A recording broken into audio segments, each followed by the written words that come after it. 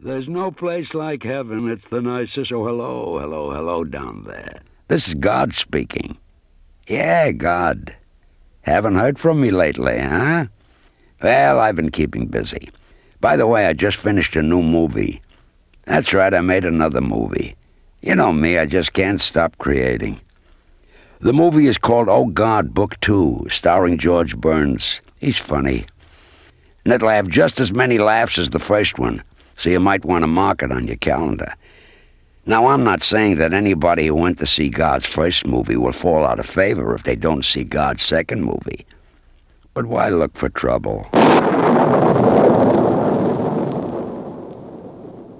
Oh God, Book Two, starring George Burns.